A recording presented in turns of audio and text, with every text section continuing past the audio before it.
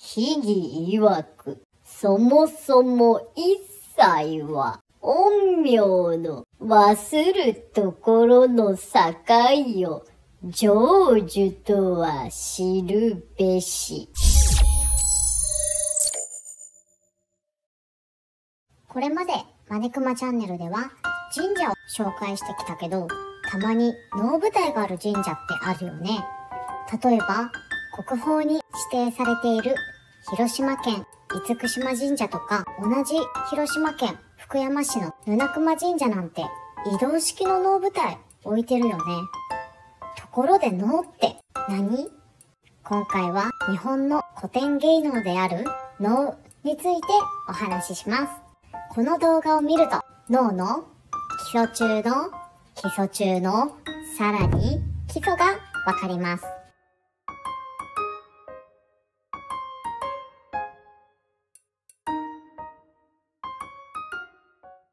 能とは室町時代からおよそ650年以上演じられてきた舞台芸術です。ユネスコの無形文化遺産に指定されています。能は歌とセリフと楽器を使った林に合わせて演じられます。そして主役が能面というお面をつけて演じるのがポイントです。お亀とか鬼とかおじいさんのお面をつけています。まずは能の歴史から言ってみましょう。もともと能は中国から猿楽として伝わりました。それを中国から持ってきたのがマネクマチャンネルでも紹介している渡来人の秦氏です。それが能と表現へと発展していきました。能はめっちゃ真面目な内容に特化してます。真面目なチャップリンっていう感じでしょうか。一方で表現はふざけたコメディ要素も入っているというイメージです。いつものチャップリンです。能は何度も何度も亡くなる危機にさらされたんですけども、日本の古典芸能として武士や朝廷に保護されたおかげで現代まで続いています。そんな能は現在も演じられるのは200話くらいです。そして、それはしてと言われる主人公の役柄で5つに分類されています。例えば、えー、男性の老人の姿をした神様、修羅道に落ちた武士、女性、鬼や天狗などの人間以外のもの、そしてその4つに分類されないものです。神様とか武士とかちょっと小難しい雰囲気ですよね。でも、実は私たちでも馴染みやすいテーマなんですよ。例えば、神様が主人公のお話は、世の中の平和をお祝いしているもの。武士が主人公の物語の多くは、原平の武将の例が出てくるから、歴史好きにはもってこいです。女性が主人公のお話は、恋愛もの。鬼、天狗などが出るお話は、演出がド派手。その4つの以外のジャンルは、現代のような劇の要素が強めなんです。登場人物には主人公の役割して主人公の助演である連れ連れはいない場合もあったり何人かいる場合もあります。このしてと連れは能面をつけています。なので能面をつけている人がメインどころだと覚えていれば大体いけます。しての相手役の脇相手役の助演の脇連れというものもあります。この脇、脇連れは人間を演じることが多くて能面をつけていません。主役が能面をつけると思っておけば大体間違いないでしょう。そしてその間に人物解説や状況を説明する役もあります。それを愛狂言と言います。登場人物以外の役割としては、舞台の後ろの方に人がいます。演者の衣装の乱れを直したり、小道具を出す貢献と言われます。そして、して、つまり主人公に何かあったら、その貢献が代役を務めます。意外と重い役割を担っている人なんですね。他には、その場の情景を歌う人や、楽器の演奏や掛け声をする人がいます。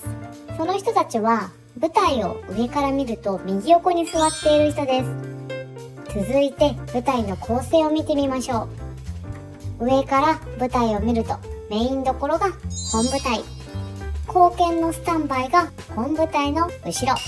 歌い手や林の人は舞台から見て右にいます。そして左の方には通路が伸びています。橋係と言われるもので登場人物はここから出入りします。能を見ることができる場所は全国の能楽堂と言われる場所です。それはもう雅な能は初めて見るときはゆったりとした演者の動き、動かない時間もあるとか。さらには心地よい音楽で能の世界に行く前に夢の世界に行ってしまうかもしれません。そうならないためにも見に行くときは演目の予習をしていくとより楽しめることでしょう。そこで予習がもっと楽しくなる？脳の裏話を2つお伝えします。予習ポイント1。今では考えられない世界観。脳には竜の神様、竜神が出てくる演目がいくつかあります。なぜ竜神が大切にされているのでしょうか？実は能が生まれた時代、日本の地下世界には竜が住んでいると信じられていました。日本の国土の周りを竜がぐるりと囲んでいる姿を描いた地図。日本図があったり現行の時は日本の神々が竜となって日本防衛のために戦っているという噂が広がったり竜は日本を守っているとても神聖な存在でした。そんな日本古来から信じられ忘れられていった世界観を知るともっともっと脳を楽しめます。予習ポイント2隠れ陰陽能にはディズニーランドの隠れミッキーも顔負けの隠れ陰陽が存在します。陰陽といえば今は占いや迷信だと思っている人も多いですが能が生まれた時代は違います。1870年明治政府が出した天社禁止令により陰陽道は迷信へと変わっていきました。それまでの日本で陰陽師はバリバリの公務員めちゃくちゃ信じられまくっています。さらに能を大成させた世阿弥の風刺家電にはこのように書かれています。秘義曰くそもそも一切は陰陽の忘るところの境を成就とは知るべし。現代語訳すると意義を言おう。そもそも、すべてのことで、陰陽が調和することが成功の境地と考えるべきである、という風になります。そして、実際に舞の形や歌の構造、さらには演者の姿勢など、いろいろなところに陰陽の要素が盛り込まれています。能で使われる楽器、鼓もそうです。大太鼓は陽の楽器、小太鼓は陰の楽器だと言われ、2つが組み合わさり音楽を奏でています。また、会場の雰囲気も陰陽です。